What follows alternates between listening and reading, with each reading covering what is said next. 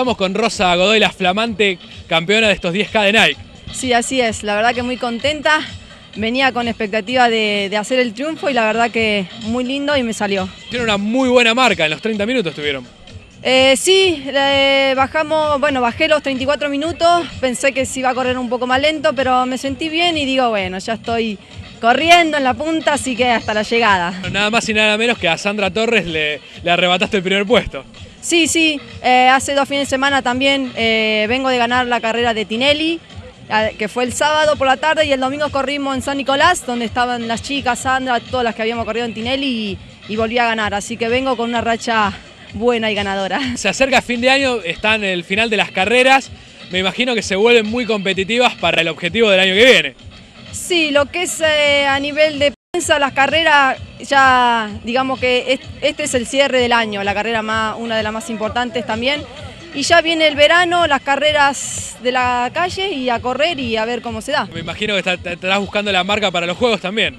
Sí, sí, este, terminamos el año y ya el objetivo principal del 2008 es hacer la mínima para los 3.000 metros con obstáculos, para ver si podemos ir a, a los Juegos Olímpicos. ¿no? Ahora te preguntamos por Darío, ¿a dónde anda? Sí, Darío lo tengo en España, a ver si llega pronto, que hace dos meses que, está allá, así que de paso quiero agradecerle que es mi entrenador, que está siempre en todo, apoyándome. Tanto vos como tu marido siempre son noticias, siempre llegan noticias de ustedes en España batiendo algún récord, corriendo alguna carrera. Sí, así es, la verdad desde que llegamos a España se pudo ver un, un poco más lo que estábamos haciendo, eh, ya que allá digamos que podemos hacer las temporadas realmente como son, ¿no? La temporada de cross, la temporada de pista cubierta, la temporada de pista y recién al último la temporada de ruta.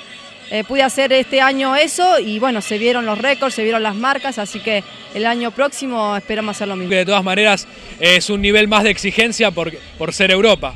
Sí, sí, eso es segurísimo.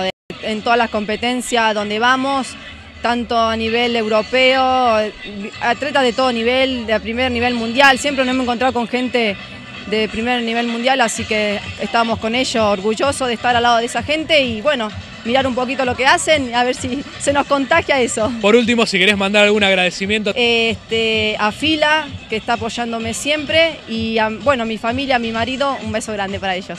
Bueno, muchísimas gracias. Gracias a ustedes.